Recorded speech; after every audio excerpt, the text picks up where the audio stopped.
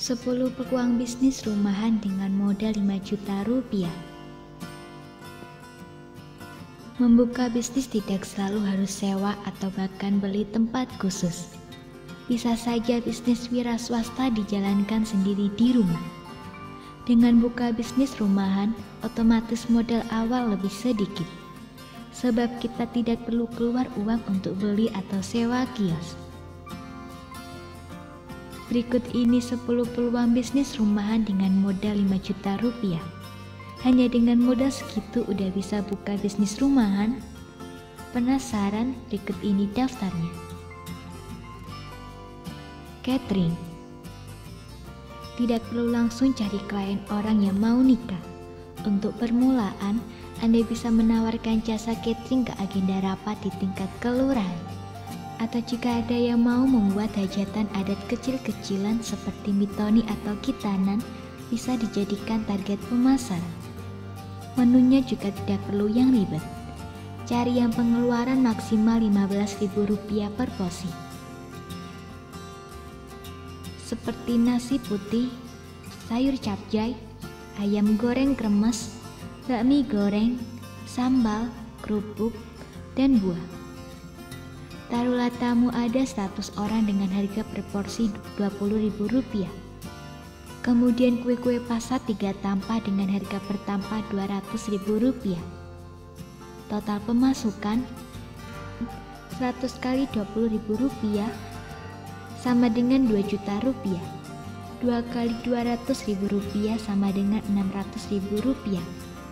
Total keseluruhan 2,6 juta rupiah dengan pengeluaran 15.000 per porsinya dan mengambil keuntungan Rp30.000 per tampah dari kue pasar, laba usaha yang didapat adalah Rp590.000. Coba saja menjajal peluang bisnis catering untuk kantor atau sekolahan.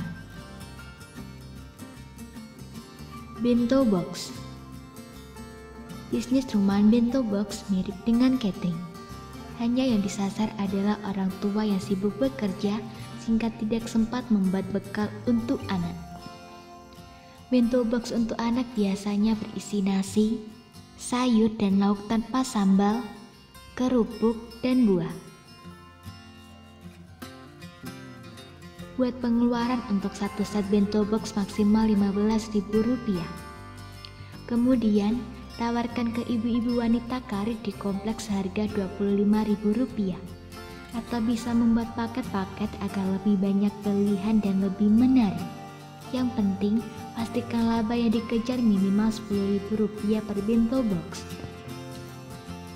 Bisnis ini biasanya berlangsung jangka panjang, jadi harus benar-benar bisa jaga kepercayaan pelanggan. Jangan sampai kualitas masakan berkurang dari hari ke hari meski pesanan tambah banyak. Makanan olahan masih berkaitan dengan kuliner, bisnis selanjutnya adalah makanan olahan.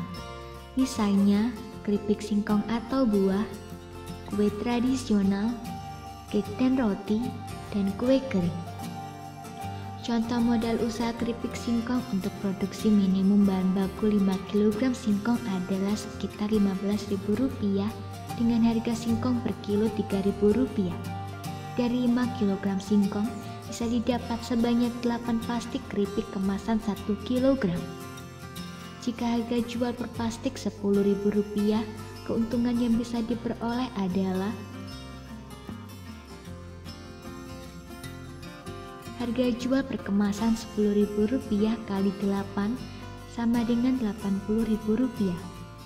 Biaya bahan baku Rp15.000. Keuntungan yang bisa diperoleh adalah Rp65.000. Mau pilih jadi reseller atau produsen, sah-sah saja. Menjahit baik bapak-bapak atau ibu-ibu bisa melakoni usaha jahitan tak hanya kaum hawa. Modal awal harus dikeluarkan antara lain mesin jahit 3 juta rupiah, benang dan jarum 100 ribu rupiah, dan perlengkapan lain seperti kancing dan resleting 100 ribu rupiah. Total 3,2 juta rupiah. Dengan ongkos standar menjahit Rp200.000 per jahitan dan dalam seminggu bisa mengerjakan 10 jahitan. Perhitungan pemasukannya Seminggu Rp200.000 kali 10 sama dengan 2 juta rupiah. Jika sebulan 2 juta rupiah kali 4 minggu sama dengan 8 juta rupiah. Bisnis menjahit ini juga bisa meliputi pemasangan pahit kebaya dan jahit sederhana, misalnya mengecilkan baju. Dengan begitu peluang mendapat pemasukan lebih terbuka. Reparasi tas Untuk yang ahli dalam soal reparasi tas, bisnis ini patut dicoba. Model awal untuk bisnis ini meliputi mesin jahit biasa 1 juta rupiah, mesin jahit khusus bahan kulit 3 juta rupiah, spare part tas, lem, benang, dan lain-lain 200 ribu rupiah. Total 4,2 juta rupiah. Dengan ongkos reparasi rata-rata 100 ribu rupiah dan dalam seminggu menangani perbaikan 10 tas, perhitungan pemasukannya adalah seminggu 100 ribu rupiah kali 10 sama dengan 1 juta rupiah. Dalam sebulan, anda dapat menghasilkan uang 4 juta rupiah. Agar pasar lebih terbuka lebar, buka sekalian reparasi sepatu. Prosesnya mirip-mirip dengan tas, bisa juga reparasi jaket kulit sekalian jika memungkinkan. Laundry kiloan Usaha ini sangat menjanjikan, apalagi kalau rumah kita dekat dengan kampus. Pasti banyak mahasiswa yang malas cuci sendiri sehingga pilih laundry. Modal bisnis ini antara lain mesin cuci dan pengering 3 juta rupiah, dua setrika masing-masing 200 ribu rupiah, timbangan 200 ribu rupiah, deterjen dan pewangi 200 ribu rupiah, lain-lain misalnya nota, ember dan jepitan plus gantungan jemuran 200 ribu rupiah total 4 juta rupiah. Dengan rata-rata order 20 kilo pakaian per hari dan tarif 6 rupiah per kilo, maka pemasukan sebulan bisa mencapai 3,6 juta rupiah. Tapi perlu diperhitungkan juga apakah satu mesin cuci cukup untuk melayani semua order. Pertimbangkan juga apa perlu mempekerjakan pegawai untuk setrika. Cuci kendaraan Jika punya halaman yang cukup luas, bisa coba ambil peluang bisnis rumahan cuci kendaraan. Jika mobil tidak memungkinkan, bisa mencoba cuci sepeda motor. Modal yang diperlukan adalah satu set kompresor mesin cuci motor 4 juta rupiah, bahan bakar kompresor dan listrik 500 ribu rupiah, sabun cuci 200 ribu rupiah total 4,7 juta rupiah. Dengan ongkos cuci motor Rp10.000 dan rata-rata kendaraan yang dicuci per hari 10, perkiraan omset per bulan adalah 3 juta rupiah. Perhitungan tersebut belum memasukkan komponen upah pegawai. Harga kompresor pun bervariasi tergantung pada kualitasnya. Salon Buka usaha salon di sini artinya ya sederhana. Kursi pelanggan maksimal dua dengan peralatan secukupnya, jumlah modal yang diperlukan, kursi hidrolik dan meja rias 3 juta rupiah, steamer rambut 500 ribu rupiah, tempat cuci rambut 300 ribu rupiah, hair dryer 200 ribu rupiah, gunting, kursi tunggu dan peralatan lain 1 juta rupiah. Total 5 juta rupiah. Dengan tarif standar potong dan cuci Rp50.000 dan pelanggan rata-rata 5 orang per hari, maka pendapatan per bulan adalah 7,5 juta rupiah. Perhitungan ini juga belum memasukkan komponen gaji pegawai. Jika modal cukup bisa sekalian buka spa mini. Tidak usah yang muluk-muluk, yang penting ada bangku panjang ditambah peralatan spa seperti handuk, lulur, minyak aromaterapi. Salon hewan Jika bisnis salon manusia dirasa kemahalan, boleh dicoba salon hewan. Peralatannya lebih sederhana dan murah, tidak perlu kursi hidrolik dan kawan-kawan. Modal salon hewan, selang dan bak untuk mandi Rp200.000, kandang berjumlah 5 masing-masing Rp100.000 menjadi total Rp500.000.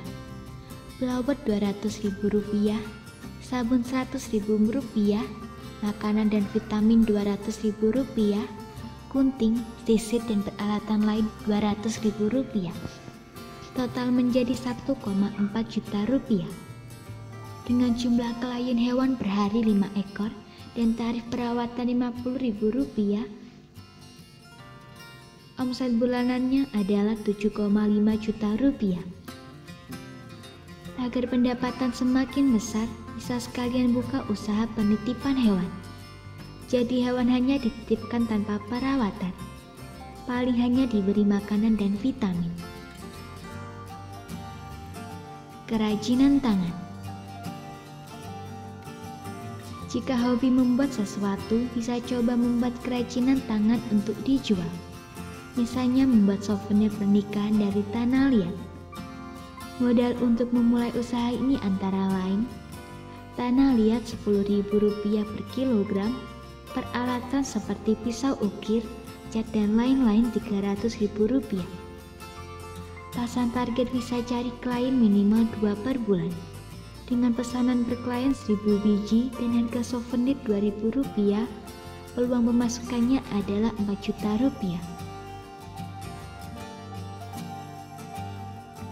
Selain 10 ide peluang bisnis rumahan tersebut, mungkin ada sederet ide lain. Tidak perlu modal sampai berpuluh-puluh juta, hanya dengan 5 juta rupiah pun bisnis rumahan bisa dijalankan. Nantinya kalau bisnis sudah berkembang, baru bisa dipikirkan cara pengembangan. Mungkin dengan kredit UKM dari bank, usaha itu bisa lebih mekar. Yang penting jangan sampai menjadikan modal sebagai alasan untuk menunda pilihan jadi pengusaha tapi tentu hitung-hitung modal tetap perlu diperhatikan. Siap jadi pengusaha? Semoga informasi tersebut dapat bermanfaat. Jangan lupa untuk klik subscribe untuk mengetahui video terbaru dari kami.